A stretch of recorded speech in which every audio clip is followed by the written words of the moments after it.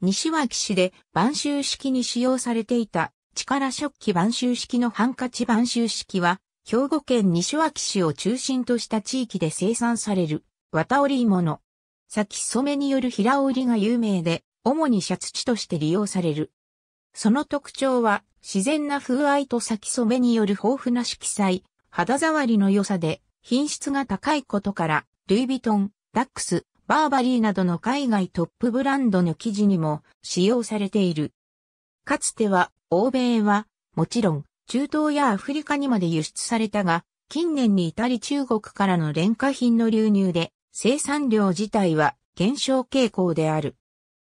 しかし最近では、神戸芸術工科大学の学生がデザインし、地元産元商社と共同開発した、晩秋ジーンズ、シャツ、寒い小物雑貨ブランドを閉鎖された織物工場の建物を再利用した晩秋食工房館で販売するなどの新たな試みも行われているほか、2004年には福井県生まれのファッションデザイナー玉木新メスによる玉木ニーメブランドが立ち上がり、ショールが経済産業省のザワンダー500にも選定されたほか、作品が海外でも評価され、2017年3月、現在世界15カ国200店舗で扱われるなど、新しい波が起こっている。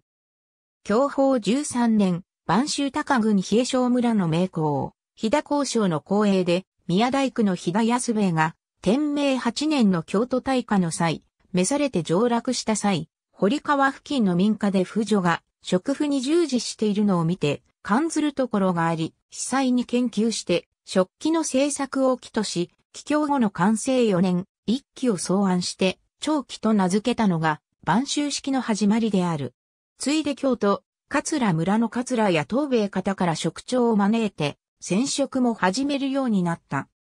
同時期、加藤郡中東条村の大工、油屋五兵が、天明年間に、京都北の神社の造営に赴き、同じく京都で旗織を習得、帰郷後創業し、菅原道真の神社の造営に従事した大工の織物であることから、神大式と呼んだ。また、火災織物は、か、西郡高野村の井上総左衛門が、嘉永6年頃企業を始めたとの記録がある。その後、農家の農閑期の副業として、西脇市を中心に、北播磨地域で生産されたため、晩秋島と呼ばれてたが、明治時代後期に晩秋式と解消され現在に至る。国内先染め織物の70%以上のシェアを占めている。また、西脇市など北播磨地域では地域を流れる加古川、杉原川、野間川の水が染色に最も適した軟水であったため、好都合であったこと、西脇地域をはじめとする播磨国全体で江戸時代中期から温暖な気候を生かした綿花栽培が盛んで自給自足で医療が作られていたことから、綿花を原材料とした織物が広がり盛んであったことなども背景にある。明治時代初期には、津満村を中心に60から70件の綿布業者が存在したが、当時の主な産地は、現在の西脇市北の高郡だった。明治時代後期からは、力食器が普及し、家内工業から工場生産への移行が起こり、西脇市域で急激な生産力の増強を見る。晩秋島から晩秋式と解消したのも、この時期で1906年の第1回高、加藤、火災連合織物品評会の地軸油で使用されたのが始まりであった。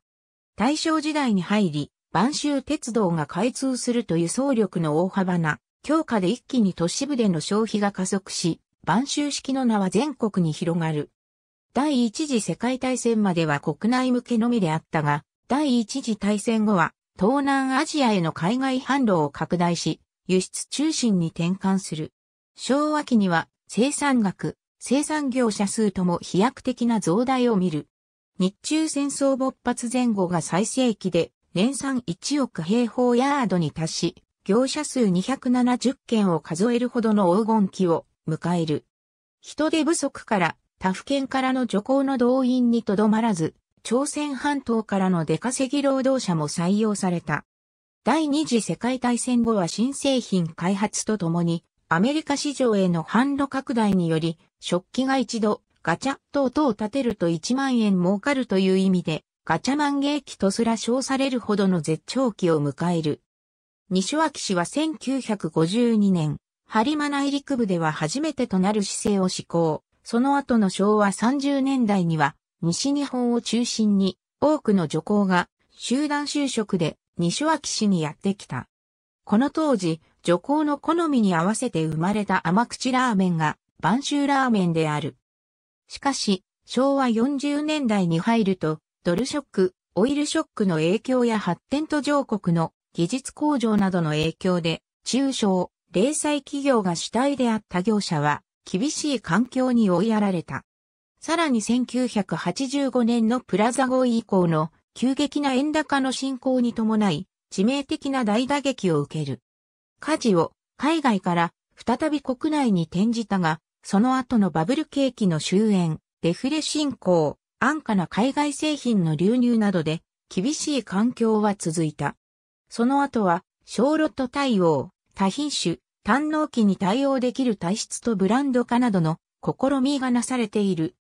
2012年9月19日には、染め織物加工業大手の株式会社第一が31億円、余りの負債を抱え倒産している。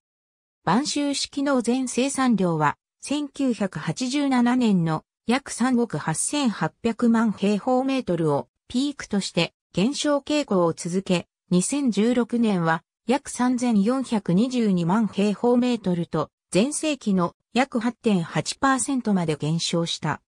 また、1987年には約60%超の占有率を誇った輸出品の割合は2016年には約14.8%まで減少した。ABC 公益財団法人北播磨寺は産業開発機構買収式について2018年6月11日閲覧。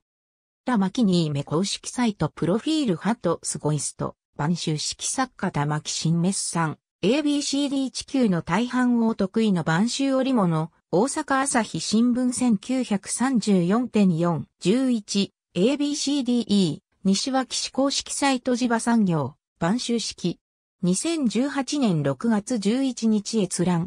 東京商工リサーチ倒産速報第一。2018年10月12日閲覧。片山 CEO、リミテッド。ありがとうございます。